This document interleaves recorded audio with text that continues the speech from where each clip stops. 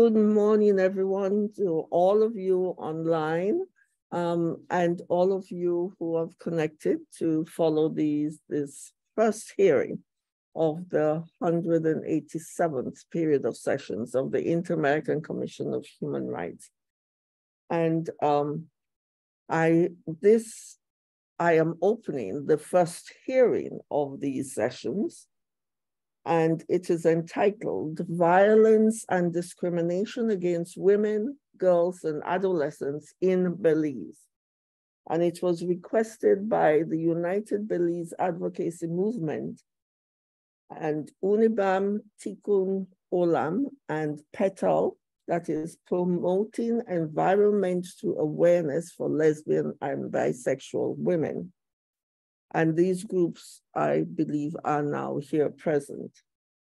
My name is Margaret May Macaulay. I'm president of the Inter-American Commission of Human Rights, and I am the rapporteur for Afro-descendant persons and for uh, the elderly, the rights of the elderly. With me and the panel, the uh, commission's panel this morning, are the first vice president, Commissioner, um, um, Commissioner and Rapporteur for the Rights of Children and Adolescents is Esmeralda Arosemena de Troitino, and our brother Commissioner, the rapporteur, country rapporteur for Belize, Joel Hernandez, and our sister rapporteur for the rights of women, Commissioner Julissa Mantilla. And we also have representatives, the Assistant uh, um, Executive Secretary, Maria Claudia, and, and um, Paul Spencer, and Jean-Marc Morris, and uh, there are other staff members from the Secretariat here present. Good morning to all of you. And on behalf of, of the Commission and myself, I give you our warm and greetings to the state and to civil society and to those online. Let me, if I go any further, let me uh, um, explain the distribution of time so you can adjust your uh, uh, submissions to fit within the time. For civil society, you will have 20 minutes. And when you start, could you introduce yourselves for the recording? And for the state, also 20 minutes. And for the commission's panel, 20 minutes. Then we'll go back to civil society for their reply, which will be 12 minutes hopefully. And also the comments from the state in reply would be 12 minutes. And the closing of the session by the commission will be six minutes. Let me just, uh, for those who are online, say state the objective of the hearing. It is to present information on the situation of violence and discrimination against women, girls, and adolescents in Belize taking into account multiple and intersectional discrimination factors, such as economic status, sexual orientation, and gender identity. Also, they, they will mention and deal with the regulatory and public policy gaps for the prevention of gender-based violence, discrimination, and violence, which they will highlight for our benefit. Um, with that, I now invite uh, civil society to commence their um, submissions. Thank you. And please remember to introduce yourselves for the recording. Good morning, uh, commissioners and state representative. I am Caleb Orozco, Executive Director of the United Belize Advocacy Movement the oldest and only LGBT-led policy and advocacy NGO in Belize. My colleague will join me later, Cherise Stalbert, and she is the president of the of PETAL, which is promoting empowerment through awareness for lesbian and bisexual women. R, your speakers for today's thematic hearing. We acknowledge that the state successfully addressed COVID-induced economic conditions that could have destabilized the social fabric of the country. We acknowledge that the state had endured, have endorsed LGBT representation on the People's Constitutional Commission. We acknowledge that the state have created a national gender-based plan of action and a new gender policy, complemented with legislation like the Domestic Violence Act, Families and Children's Act, and the mechanism, the Family Court, which offers redress options to women. We acknowledge that the state threw its weight behind the European uh, Union project for gender-based violence called Spotlight to better support the needs of women and girls, particularly in family violence. We acknowledge that the state under the Ministry of Human, Deve Human Development, Family and Indigenous Peoples Affairs has invited a lesbian bi women organization to represent vulnerable and marginalized women on the Commission for Families and Children, a commission that monitors the issues of family vulnerability. And that the state acknowledged gender equity and equality as its core values within the Ministry of Human Development. Uh, but we remain concerned that after 40 years of independence, the expected civil rights protection for LGBT Belizeans remain elusive. But while the political tone has shifted the proverbial needle, the commitment to act remains transient. Despite our constitution defining laws created being void if inconsistent with the constitution, like section 2.1, which speaks to being void if they are inconsistent with the constitution and sections speaking to discriminatory, like section 16.1, which speaks to no law having any provision to be discriminatory.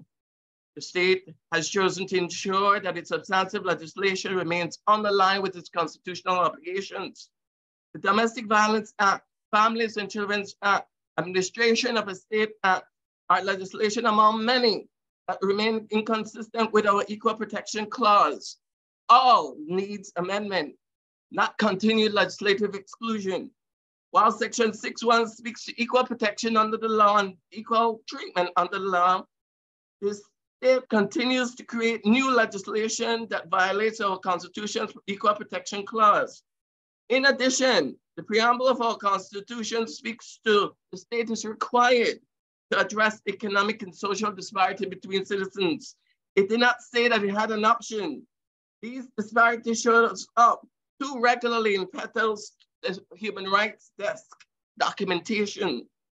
Almost 300 cases between the period of 2021 to June 2023 speaks to lesbian women being discriminated upon, victimized, re-victimized, remain accounted for through the Belize Crime Observatory, which collects, processes, analyzes, and stores crime data with a view of providing timely, reliable, and relevant information to its users managed by the state. So I must ask in its official capacity to promote practices of, no. So I must ask, is it the official policy to promote practices of complicity by omission, indifference, and inaction that undermines the right to dignity and our equal protection clause? Is it state policy to treat lesbian and bisexual Belizean women as collateral damage rather than make actual investment that tracks the experience of violence. When are the physical abuse bodies of these women going to be acknowledged in state official data? We remain unprotected under the law. Women are supported, yes, but not in all their diversity. One such case that Petal documented occurred at the height of COVID when a client reported to the police that she was being abused by an intimate partner, the police would not take her report even though she had been threatened and it was a domestic dispute. Another case which currently only one of 15 since the year began, the lesbian couple being evicted by a landlord who expressed his homophobia upon learning that he was not a heterosexual couple renting from him. To add, the landlord sought to assist the assistance of the police to take the couple and their children out of the house, even though legislation states that only the court can evict. As the organization sitting on a national body that is for families and children, Petal notes we see no justice for women and their children. The NCFC does not even have regular meetings held to address issues affecting marginalized and vulnerable women. The Families and Children Act does not acknowledge the, that families exist in all their diversity, especially lesbian and bisexual women and their families. Opening lesbian and bisexual women and trans persons to threat of losing custody, parental rights, and family insecurity that is initiated by the partner.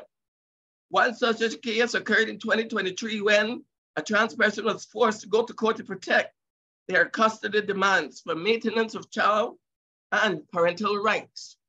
UNIBAM was instrumental in ensuring that legal counsel was provided in the defense of the father's threat to weaponize gender identity of the client in family court proceeding.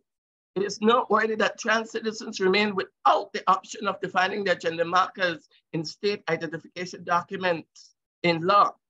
So I use the pronoun he and him out of respect. According to the International Gay and Lesbian Association, in 2019, nine treaty bodies made 137 COGS references and 66 concluding recommendation on 56 different states.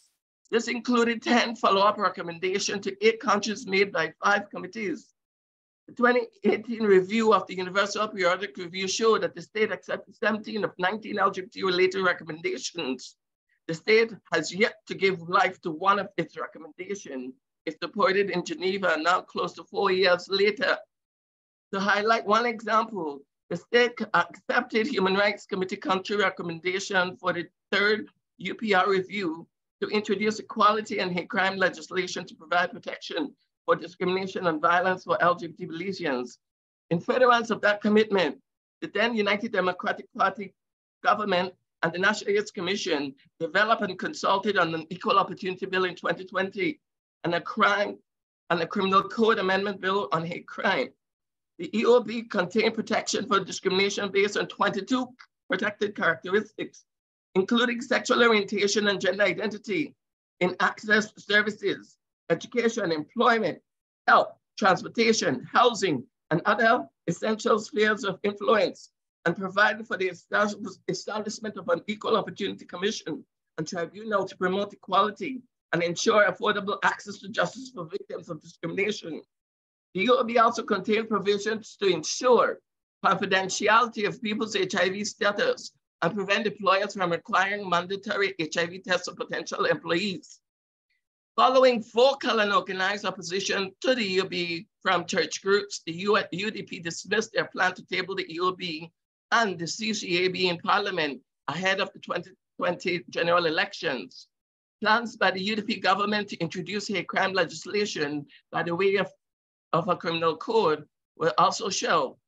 The 2020 general elections resulted in a change of government and the new People's United Party government has failed to adapt and progress on the EOB or the CCAB or to commit introducing their own equality or hate crime legislation. In January 2023, the Minister of Human Development, Families and Indigenous Peoples Affairs stated publicly that the government was considering hate crime legislation, but there has been no indication of progress to date. I now turn the presentation to my colleague, Sherry Stalbert. Good morning, everybody. Sherry Stalbert for Promoting Empowerment Through Awareness for Lesbian and Bisexual Women. Interestingly, the state has been able to get over 11,000 non-citizens to sign up for a pathway to citizenship in the late 2022 and 2023. No easy feat of the state's apparatus. However, its ability to pass a single piece of legislation that addresses discrimination remains stalled. In addition, the state has made many positive interventions about women's rights, but its ability to pass a criminal code amendment to address hate crime legislation that would increase sentencing for persons who commit acts of violence based on characteristics such as sexual orientation, gender identity, disability, gender, membership of a religious group, and sex remains stalled. Despite the state's public declaring many statements of commitment to women and girls, it has never committed to them in all their diversity in any le national legislation. One such case is a bisexual woman who was constantly being harassed threatened, and even assaulted by her neighbor because of her sexual orientation, to the point of wanting to end her life before her neighbor had the opportunity to act on his threats to her. No police intervention occurred, even after going public to seek aid in addressing this issue. Instead, the police, when she visited the station one last time to make a report on the incident, was advised by the officer on duty that since she tried to fight off her attacker, that they were even as she hit him and he hit her. In a separate case, another lesbian walking on the street minding her own business in broad daylight was attacked and threatened that she would be raped to ensure she made up her mind whether she'd be a man or a woman in a relationship. She sought the assistance of the police to make a report and was not assisted, but rather laughed upon and told that they did not rape her. So why was she there um, needing to make a report of the incident? Furthermore, when legislation extends basic protection from violence based on sexual orientation and gender mm. identity, symbols of the state has no obligation to investigate. Why? lesbian and bisexual women and trans persons have no access to the same protection orders that is issued generously under the Domestic Violence Act.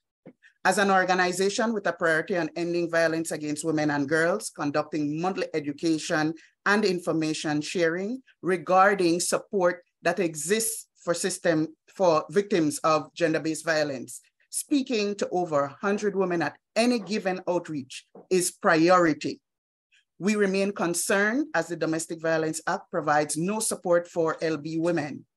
They cannot file a report at the Domestic Violence Unit, which is opposite to treatment that hetero couples receive at the DVU. One such issue of equal unequal treatment is access to shelters.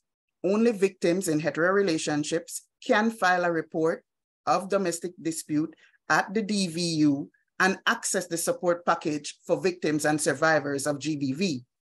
Petal houses LB women who are victims of violence for up to a week until we can find something more long-term for them. Their cases are not even documented as DV incidents. As of 2021, we have housed and fed 27 LB women that could not access the support of the police or the shelter to address their issues of GBV. Challenges continue to exist with the department and various ministries responsible for providing the support to women and adolescent girls in accessing sexual and reproductive health and rights education and services who are being affected by the different forms of uh, primarily gender-based violence even holding a seat on the National Gender and Gender-Based Violence Committee does not result in lessening the experience of discrimination as the dignity and rights of LB and trans persons remain expendable in the full enjoyment of their rights as citizens.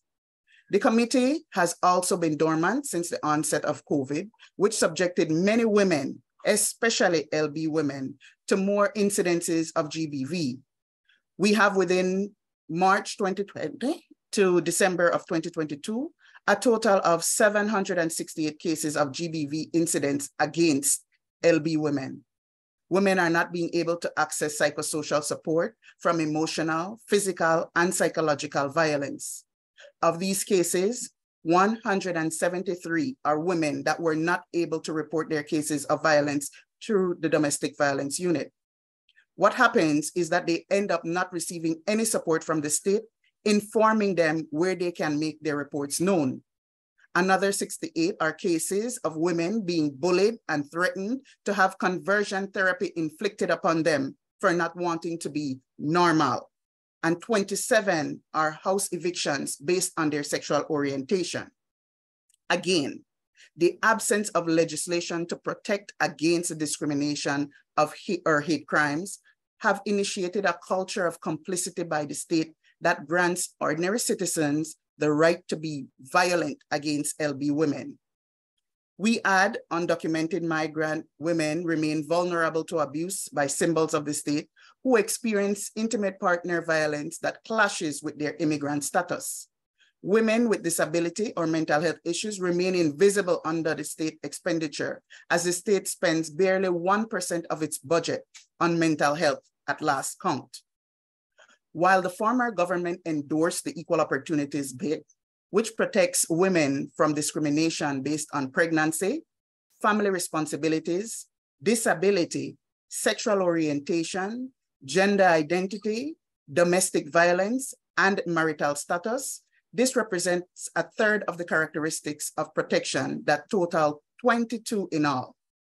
While the new government endorses values of gender equity and equality in its plan Belize framework, the state has not expressed any serious commitment to ensure its action is not inconsistent with the state's own values of committing to equality and gender equity for its citizens.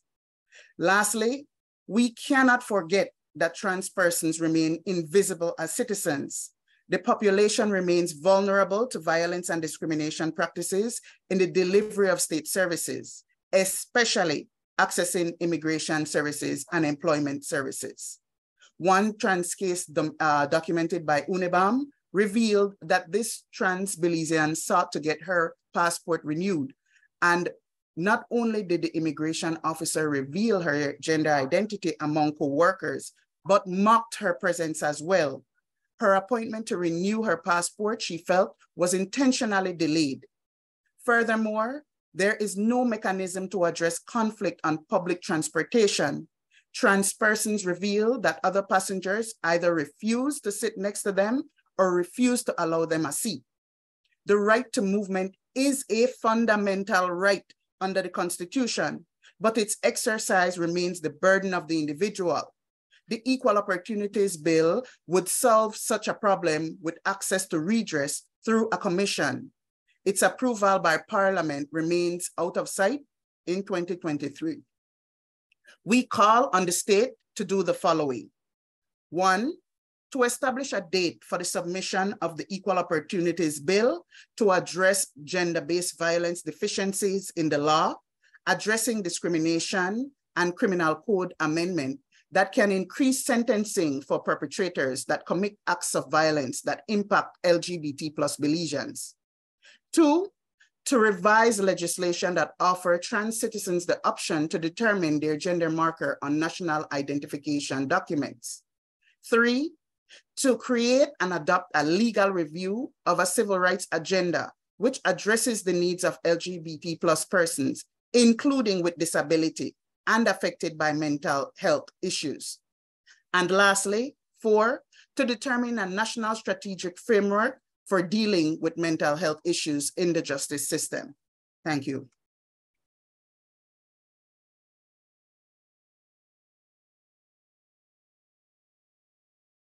Thank you very much um, to representatives of civil society. Thanks for your fulsome submissions and for keeping within your time. Um, that's very good management of time. Um, your Excellency, uh, um, Ambassador Young of Belize, uh, it now falls to the state to make their mm-hmm. submissions. I, uh, we are aware that normally you would not carry the burden, but I don't, I'm not sure that anybody has connected from capital. So um, could you let us know what you will do? And we thank you, we thank you really for your commitment to the, the system, the Inter-American system of human rights for being present, um, despite the fact that you're not supposed to carry the burden of the substantive reply on behalf of the state. We thank you deeply for being here. Thank you, Madam President, and uh, thanks both both presenters for their presentation. Um, so unfortunately, I, I, received the, the final update um, on Saturday. I sent it to our capital. Um, it's early in the morning there. I don't think anyone is in the offices yet uh, because you know they're two hours behind. So that might be part of the reason why nobody is on as yet. But um, what I, if, if it is possible, can can we ask that the government of Belize can perhaps um, make a submission at a later date? Is that allowable that we can perhaps do after we've reviewed all the information that we now have? Um, we'll be in a better position to, to make a substantive response and um, of course, uh, all of the presenters have put forward will be taken into consideration. Uh, I must say that, that the government of Belize takes these matters very seriously, but um, until we received all the until we received all the information, it, it wasn't realistic for us to prepare a submission on this one.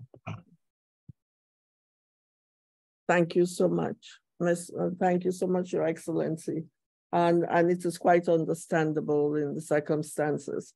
Uh, um, at, uh, I'm sure uh, some of the members in capital are just waking up and trying to get themselves ready to leave their homes to go to the office. Um, so it, it is understandable um, because especially if there's a misunderstanding about the time, um, um which was stated. Um, I myself had a bit of um, confusion this morning because we are one hour behind DC and it's a good hmm. thing I checked and found out it was in fact DC time and not Jamaican time. So um, yeah. I, I think definitely the states can have time. I'm sure my colleagues on the panel would agree. Perhaps your, your, your submissions can be submitted in writing um, to us, which we will then also send to civil society here present. And we, we will discuss the time as we go along. Are you able to stay until the end, Mr. Ambassador? Yes, I will. Thank you so very much. And again, I apologize. Like I said, you know, I received the, the latest uh, statement um, on Saturday, mm-hmm. which I forwarded. But, you know, Saturday there's nobody in the office. I don't know if anybody checked their emails.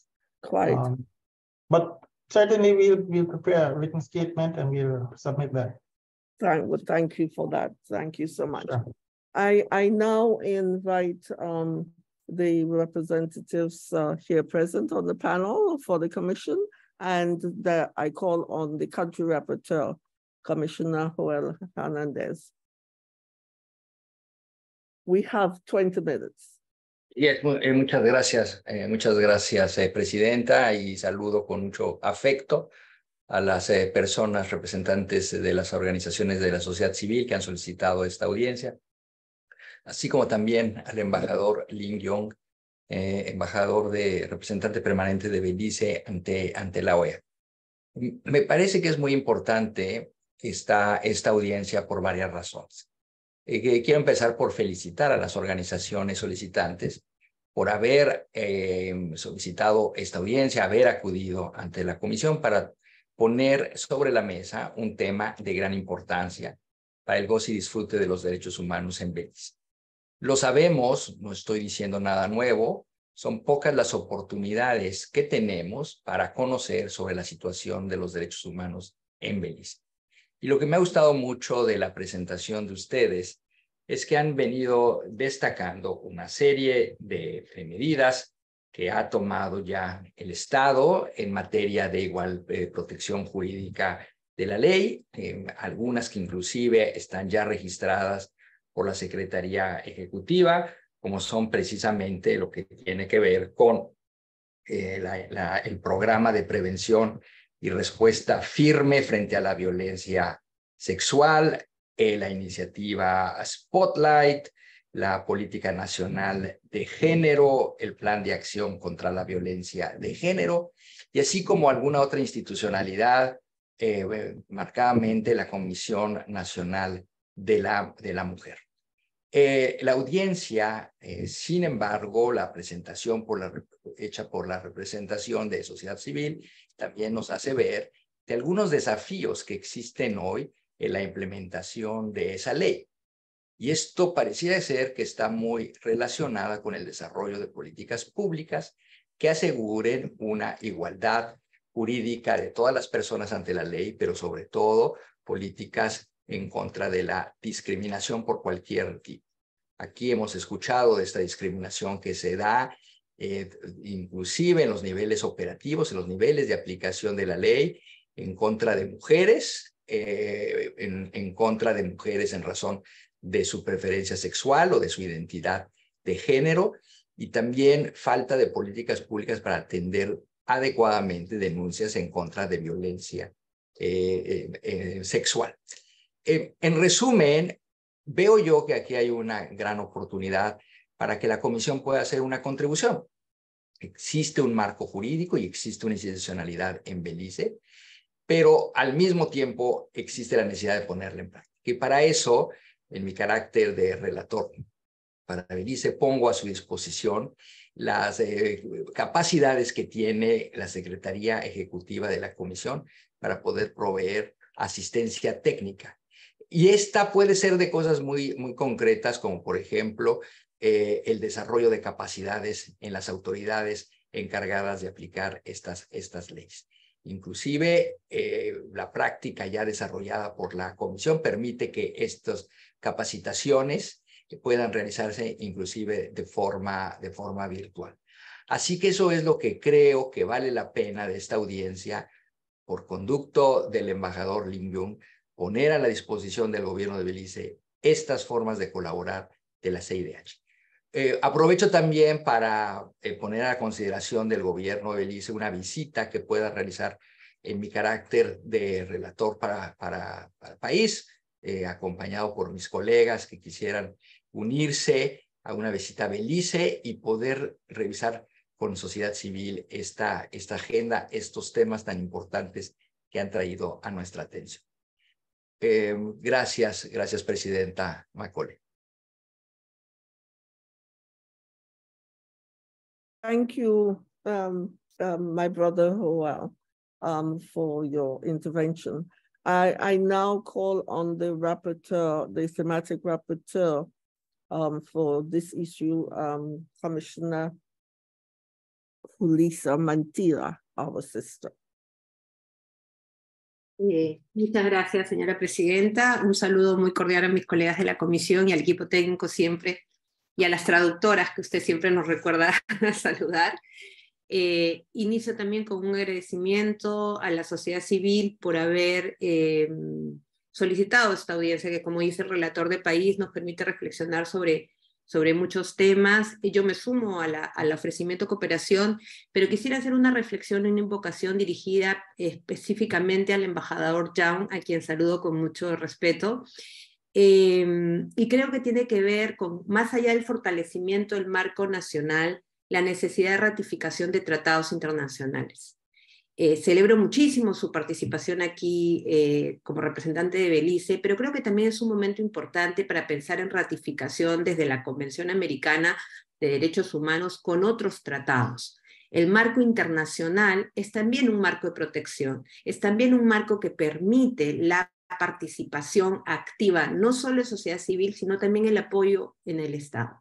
La Comisión Interamericana, y lo digo con, todo, con toda la franqueza, tiene una estrategia eh, pensada en el Caribe, eh, que se va a seguir desarrollando y que incluye estas visitas que mencionaba el relator pero quizás también es el momento de reflexionar en cuál sería la posibilidad jurídica de ratificación de tratados. Esta es una comisión que el próximo año va a tener tres representantes caribeñas y creo que es un momento importante también para hablar del fortalecimiento del marco internacional. Ratification of treaties is very important to consolidate these international human rights protections. And I think that civil society we always have the, the, the open door from the commission, but this is the moment to talk with the state as well, how to implement that. Eh, I'm talking about the American Declaration of Human Rights. You know, besides you ratify, ratify or not the treaty, you have this American Declaration of Human Rights. This is the framework. How do we can work together to implement the framework, not only in local and national policies, but also in the international ratification for treaties. And finally, to the social uh, society, I change to English to speak directly with you. Thank you very much, not only for, as I always say, not only for your presence today, but for the daily work that you do every single day. It's so difficult to work with these issues when nobody understands, not necessarily understand everything, but not only the framework, but do your feeling, how to, to, what does it mean to, to grow up in societies do we don't understand that you have the right to be as you are. This or sexual orientation, gender identity, we're talking about human rights, and we're talking about dignity of people. So dignity means to recognize that you are equal Thank you for your work and for all the people that you are representing now in front of the Inter-American Commission. You have our thankful and um, you know our support. Thank you very much. Gracias, señora presidenta. Thank you so much, my sister Julissa. And it is now my pleasure uh, to invite the first vice president, our sister Esmeralda, to make her interventions as the rapporteur for children and adolescent rights. Thank you. Muchas gracias, Presidenta. También el saludo a todos y todas, al señor embajador Lin John. Muchas gracias por su presencia en, este, en esta audiencia y a la sociedad civil por todo su trabajo, tal como lo, se los plantea la comisionada Julissa. Yo tengo dos puntos que me gustaría eh, que a la hora de una respuesta por parte del Estado, tener alguna información respecto a el tema de las niñas y de las adolescentes en el tema de violencia sexual, o sea, los datos, los registros y la situación de las niñas y adolescentes en esta condición de, de género, de su identidad de género, que sabemos hay una situación, una circunstancia muy particular que enfrentan eh, el, grupo de eh, niñas eh, que, que, están en esta, en esta búsqueda de su identidad sexual. Me gustaría tener algo de información respecto de eso. Y bueno, también pues a la sociedad civil si hay los datos correspondientes. Y el otro punto es, la, la sociedad civil nos planteaba que hay un reconocimiento constitucional muy importante, pero que hay leyes que abiertamente, no sé si eso lo tengo claro, me gustaría tener esa visión de la sociedad civil, que hay leyes que violentan la norma constitucional y que esto no se refleja en una posición de propuestas de reforma a la ley o si es necesario las propuestas de reforma constitucional. Me gustaría tenerlo un poco más claro porque me parecía eh, eh, que, que, el tema normativo no deja de tener una relevancia a la hora de la exigencia del derecho, de la posibilidad de demandar el derecho. Entonces, esos dos aspectos y compartiendo eh, las posiciones de mis colegas Yulisa eh, Mantilla y el comisionado Joel Hernández en, en materia de eh, apoyo técnico, cooperación técnica y de esta visita a Belice. Muchas gracias, Presidenta. Thank you very much, um, my sister um, Esmeralda. Um, uh, Ma um, Maria Claudia, do you wish to intervene? Thank you, Madam President. Es solamente para un aspecto muy puntual y es en seguimiento lo manifestado por la Comisión, indicar eh, que estamos a toda disposición desde la Secretaría Ejecutiva para avanzar en esa posibilidad de cooperación técnica, tanto con el Estado como si así lo, lo requirieran las organizaciones de la sociedad civil. Entonces, tenemos todo un abanico de posibilidades de cooperación que ponemos a su disposición, tanto desde a partir de la sección de cooperación técnica y política pública, como concretamente si se trata de desarrollos de capacidades desde la sección de capacitación y promoción. Tenemos una estructura, tenemos estos, estas posibilidades y estamos a su disposición. Muchas gracias. And can I, before I speak, can I also Can I also ask um, Advisor Paul Spencer, do you wish to intervene? Just to uh, reconfirm what um, my colleague Maria Claudia had said, and as you know, um, Commissioner and President Macaulay, we have had two very successful visits three. to three, three successful visits to CARICOM countries in the last year, where we were able to provide you know, technical cooperation support to both the state and non-state actors.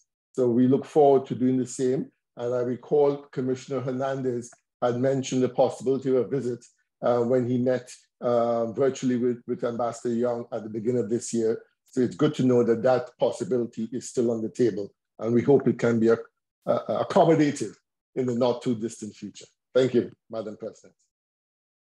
Thank you. Um, um, um, um, Mr. Spencer, you've taken quite a number of my the subjects I wanted to touch on, but but that's all right. I I would just uh, um, um, highlight this in before we moved from it the, your last thing, that in relation to the visits, I I um, Your Excellency, um, wish we wish you to convey that to the government of Belize that we have, um, following a strategic plan, that uh, Caribbean region is now a priority region for the Caribbean. And uh, we assure you, Your Excellency, that we worked, I, I myself worked avidly to get this situation for the Caribbean within the Commission's interest. And, and it is a priority region now. And for, because of that, we were able to do uh, a visit to Dominica last year and then to Suriname and just up to last a few days uh, to St. Lucia.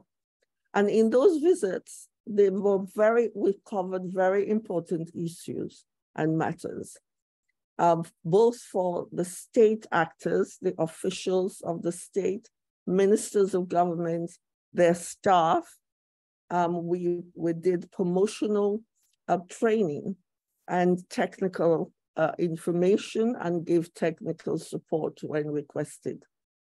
And we also did the same for civil society groups within each of these countries. They were very important visits because these Caribbean countries had, had not had the benefit of this, especially with the development of, of um, conventional instruments within our, our system. And I keep reminding all, in all the countries where we go that we have to be aware of the fact and proud of the fact that our Declaration on the Rights and Duties of Man was the first international human rights document in the world. Most people think it was the Universal Declaration, it was not. They, that followed about almost eight months after the Inter-American Declaration had been in place. So we should act accordingly. And we would like truly to echo um, my brother country commissioner Joel Fernandez to do a promotional and technical training visit to Belize. It is a country which clearly from looking at the records, I just checked the records, Belize as a state needs and its people's need. We ought to be there and to try and assist in any way we can. And secondly, I wish to ask civil society whether they have sought to uh, the commission to, uh, to use its mechanism under Article 18 to write a letter requesting information from the government why the Equal Opportunities Bill has not been put back on the legislative agenda since 2021 up to date. That is a mechanism which would have been part of the training had we been able to visit Suriname, um, Belize, which we did in all the other countries, was one part of it.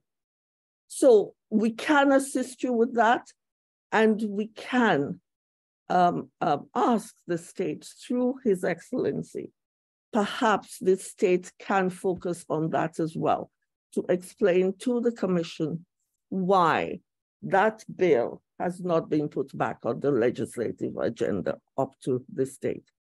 We look forward to working closer with you because there are all the international instruments of the inter-American system are waiting, signing and ratification, the signature and ratification of Belize. So please let us assist you, Mr. Ambassador, if you would give that message to Capital. I thank all of you again, and most avidly our interpreters for assisting us this morning and all of you who are online. Um, so with that, I call this Excuse first me. hearing. Excuse me, Madam President, if we can take a picture of all the participants before Oh, the, yes, I- the, yes. the public hearing. Good for reminding. Could you all, um, I have to take off my mask. Tell me when you're ready. Marlene, go away. All right, thank you so much for the for the time. So if you can just Okay. look at the camera for me one second. Thank you so much. Finish? Yes, done. Thank you, Tiago. So that is uh, one of the, he's one of our, our um, talented uh, photographers. So thank you, all of you. Thank you very, very much for your participation in this first hearing of the 187th period of sessions of the Inter-American Commission of Human Rights. Have a good day, everyone. Bye-bye.